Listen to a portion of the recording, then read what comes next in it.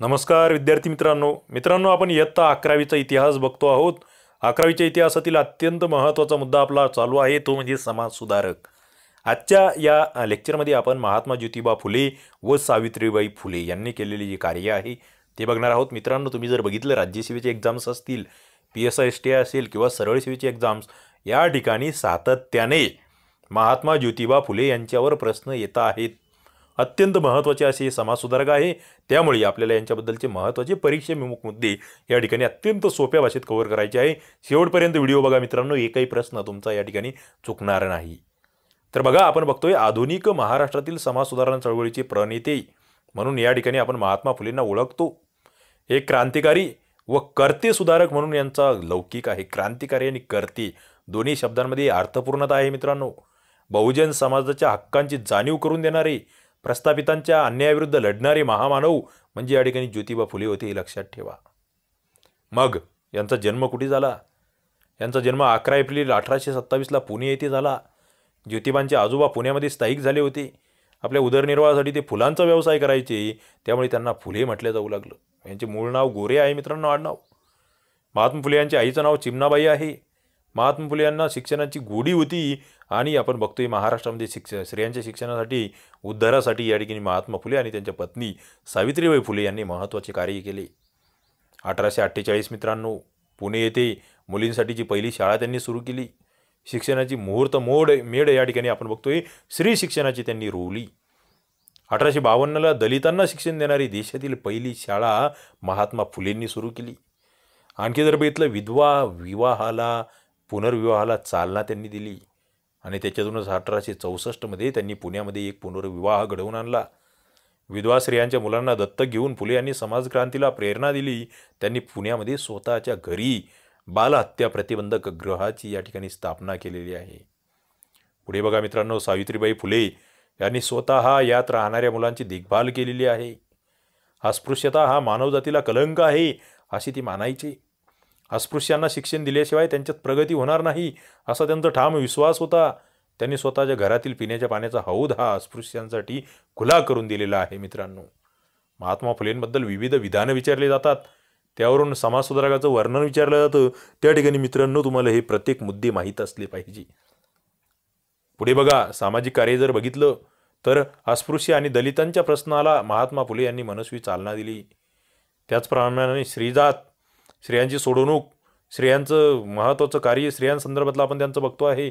पुनर्विवाह असेल केशवपन बालभत्या बालविवाह अस्पृश्यता निवारण या ठिकाणी त्यांनी समाजामध्ये प्रबोधन केले. विधवांची जी विटंबना होत होती जन्मलेल्या बालकांची हत्या व्हायची ती रोखण्यासाठी आपण बघतोय अठराशे त्रेसष्टमध्ये त्यांनी स्वतःच्या घरी बालहत्या प्रतिबंधक गृह स्थापले. आणि यामधीलच काशीबाई नावाची जी विधवा होती तिचा मुलगा त्यांनी स्वतः दत्तक घेतला. सगळ्यात महत्त्वाचं मित्रांनो विधवांची केशवपनाची पद्धत होती. म्हणजे एखाद्या महिलेचा पती निधन पावला तर तिला त्या ठिकाणी केशवपन करावं लागायचं. त्याच्या विरोधात त्यांनी नाव्यांचा संप घडवून आणला. धर्मभेदमूलक विद्वेष असेल जातभेदमूलक उच्च भाव असेल श्रीदास्य हिंदू संस्थेतील मूर्तिपूजा संस्कृत भाषेतील कर्मकांड यांचं उच्चाटन करण्यासाठी सगळ्यात महत्त्वाचं कार्य काय केलं? तर चोवीस सप्टेंबर अठराशे त्र्याहत्तर मित्रांनो ही तारीख तोंडपाठच असली पाहिजे. चोवीस सप्टेंबर अठराशे त्र्याहत्तरला सत्यशोधक समाजाची स्थापना केली. सर्व जाती धर्माचे नागरिक या ठिकाणी सदस्य व्हावेत अशी योजना त्यांनी तयार केली. समाजासाठी मौलिक आणि प्रासंगिक असे दोन्ही ले लेखन त्यांनी करून पुस्तकं प्रसिद्ध केले. बहुजन समाजावर लादलेली जी गुलामगिरी आहे ती स्पष्ट करण्यासाठी ब्राह्मणांचे कसब गुलामगिरी सत्सार इत्यादी निबंध त्यांनी लिहिले. मित्रांनो महात्मा फुले म्हटले की त्यांची ग्रंथसंपदा अफाट आहे. त्या ग्रंथसंपदेवर आपण बघतो सातत्याने प्रश्न येत आहेत. पुढे बघतोय आपण त्यांनी सामाजिक परिस्थिती ची जी मुळे खोलवर रुजली होती ती उखाडण्यासाठी हिंदू धर्माच्या शुद्धीकरणाशिवाय पर्याय नाही आहे असं त्यांच्या लक्षात आलं. आणि आपण बघतो आहे ज्योतिरावांचं जे काही ऐतिहासिक सामाजिक कार्य आहे त्याचं या ठिकाणी कुठेतरी कौतुक झालं पाहिजे.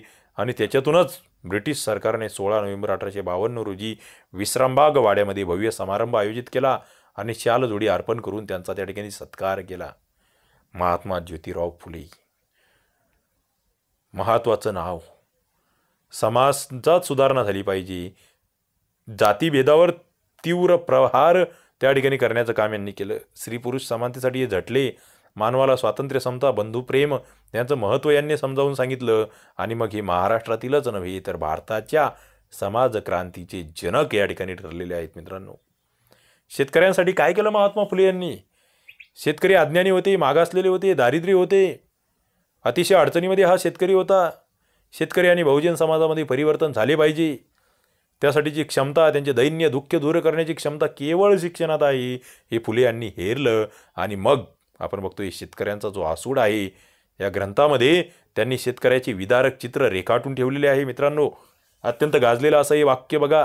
शेतकऱ्यांच्या आसूडमधील विद्येविना मती गेली मतीविना नीती गेली नीतीविना गती गेली गतीविना वित्त गेले वित्ताविना शूद्र कचले एवढा अनर्थ एका अविद्येने केला. मित्रांनो अत्यंत महत्त्वाची ही या ठिकाणी रचना आपण बघतो आहे. शेतकऱ्यांच्या विदारक अशा अवस्थेचं वर्णन या ठिकाणी महात्मा फुलेंनी केलेलं आहे. आणि मग याच्यातून त्यांनी शेतकऱ्यांना मदत करण्याचं ठरवलं.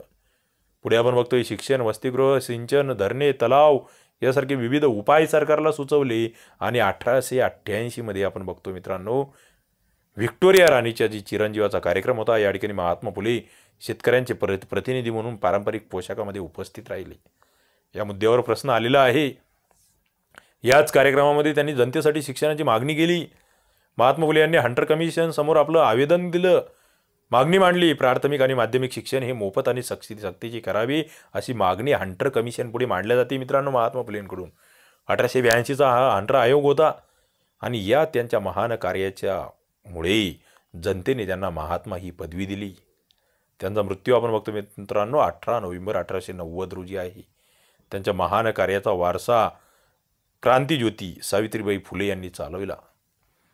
मग क्रांतीज्योती ज्योती सावित्रीबाई फुले यांचं जर आपण बघितलं तर अठराशे एकतीस ते अठराशे सत्त्याण्णव हा कालावधी आहे. तीन जानेवारीचा जन्म आहे. आपण बालिका दिन म्हणून हा साजरा करतो आहे. कुठे झाला जन्म? सातारा जिल्ह्यातील खंडाळा तालुक्यातील नायगाव येथे जन्म होतो आहे.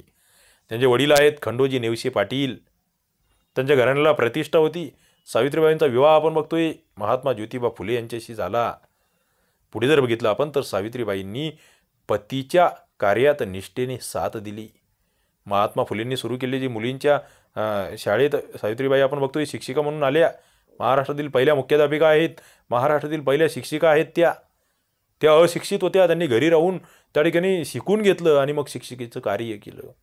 आपण बघतोय सणातील लोकांना सनातील लोकांना हे आवडलं नाही. त्यांनी सावित्रीबाईंना खूप त्रास दिला. त्यांच्या अंगावर चिखल फेकही केली. सावित्रीबाईंनी अपमान निंदा नालच ती सहन करत आपले शिक्षणाचे पवित्र कार्य चालू ठेवले. आपण बघतोय अस्पृश्योद्धाराच्या कार्यात सुद्धा त्यांचा मोलाचा सहभाग आहे. महात्मा फुले यांनी जे बालहत्या प्रतिबंधक गृह आपल्या घरी सुरू केले होते यातील अनाथ मुलांचे संगोपन करायच करण्याचं कार्य मित्रांनो सावित्रीबाईंनी सुरू केलं. अनाथ मुलांच्या त्या माऊली होत्या. अत्यंत प्रेमाने मातेच्या वात्सल्याने त्यांनी या मुलांचे संगोपन केले. महात्मा फुले यांच्या सर्व कार्यामध्ये सक्षमपणे समर्थपणे साथ देण्याचं कार्य या ठिकाणी यांनी केलं. महाराष्ट्राच्या स्त्रीविषयक चळवळीमधील अग्रगण्य नेत्या प्रौढ शिक्षणाच्या पुरस्कर्त्या आद्य शिक्षिका म्हणून आपण सावित्रीबाईंना ओळखतो. त्यांनी स्त्री शिक्षणाला संजीवनी दिली. त्यासाठी अथक प्रयत्न केले आधी केले मग सांगितले. अशा प्रकारचं कार्य आपण बघतो आहे सावित्रीबाईंचं आहे. त्यांचा जन्मदिवस आपण बघतोय बालिका दिन. सावित्रीबाईंनी लिहिलेले काव्य फुले बावनकशी सुबोध रत्नाकर हे काव्यसंग्रह तुम्हाला लक्षात ठेवावं लागतील. त्यांनी महात्मा ज्योतिबा फुले यांना लिहिलेली काही पत्रेसुद्धा उपलब्ध आहे. सारांश मित्रांनो क्रांती ज्योती सावित्रीबाई फुले यांनी अज्ञानात अज्ञानाच्या अंधारात चाचपडणाऱ्या श्री शूद्रांना ज्ञानाचा प्रकाश दाखविला. महात्मा ज्योतिबा फुलेंच्या नंतर सत्यशोधक समाजाची धुरा त्यांनी सांभाळली. अशा महान आणि कर्तबगार श्रीचा मित्रांनो प्लेगच्या रोग्यांची शुश्रूषा करताना प्लेगची बाधा झाल्यामुळे दहा मार्च अठराशे सत्त्याण्णव रोजी या ठिकाणी मृत्यू झालेला आहे. तर अशा पद्धतीने आपण बघतो महात्मा फुले आणि सावित्रीबाई फुले यांचं हे कार्य अत्यंत महत्त्वाचं आहे. मग नेमकं लक्षात काय ठेवायचं? मित्रांनो तुम्ही म्हणाल की सर महात्मा फुले आणि सावित्रीबाई फुले नेमकं आपण एक थोडक्यात रिवाईज या ठिकाणी बघा. सावित्रीबाई फुले म्हटलं की बालिका दिन तीन जानेवारी. काव्य फुले आणि भावनकशी सुबोध रत्नाकर हे ग्रंथ या ठिकाणी तुम्हाला लक्षात ठेवायचे आहे. या दोन गोष्टी मला वाटतं सावित्रीबाई फुलेंच्याबद्दल पुढे महाराष्ट्रातील पहिल्या स्त्री शिक्षिका म्हणून या ठिकाणी आपण सावित्रीबाई फुले यांना लक्षात ठेवू शकतो. त्यानंतर महात्मा फुलेंच्याबद्दलची महात्मा ही पदवी. हंटर कमिशन पुढे दिली त्यांची साक्ष शेतकऱ्यांचे प्रतिनिधी म्हणून अठराशे अठ्ठ्याऐंशीला शेतकऱ्यांच्या पारंपरिक वेशामध्ये परिधान राहिलेलं हे तुम्हाला लक्षात ठेवावं लागेल. पुढे विद्येविना मती गेली कोणत्या ग्रंथातून आहे शेतकऱ्यांच्या शेतकऱ्यांचा आसूड या ग्रंथातून आले हे वाक्य आहे. ते लक्षात ठेवा. भारतीय समाजक्रांतीचे जनक आहेत. हे लक्षात ठेवा. पुढे त्यांचे महत्त्वाचे काही ग्रंथ ब्राह्मणाचे कस कसब असेल गुलामगिरी सत्सार हे ग्रंथ इतरही ग्रंथ आहेत मित्रांनो ते पुढे काही लेक्चरमध्ये येतील. आणि सगळ्यात महत्त्वाचं त्यांचा सत्यशोधक समाज. चोवीस सप्टेंबर अठराशे त्र्याहत्तरचा सत्यशोधक समाज मित्रांनो तो लक्षात घ्यायचा आहे. अठराशे त्रेसष्टचं बालहत्या प्रतिबंधक ग्रह गृह पुनर्विवाहासाठीचं त्यांचं कार्य आणि सगळ्यात महत्त्वाचं त्यांनी सुरू केलेल्या ज्या शाळा आहेत त्या तुम्हाला लक्षात घ्यायच्या आहेत. म्हणजे अठराशे अठ्ठेचाळीसला मुलींसाठीची पहिली शाळा आणि अठराशे बावन्नला दलितांसाठीची पहिली शाळा. मित्रांनो एवढं जर तुम्ही रिव्हिजन या ठिकाणी केलं तर मला असं वाटतं महात्मा ज्योतिबा फुले आणि सावित्रीबाई फुले यांच्यावरील तुमचे प्रश्न नक्कीच बरोबर येतील प्रश्न चुकणार नाहीत. अशाच पद्धतीने आपण सगळे लेक्चर्स या ठिकाणी बघतो आहोत.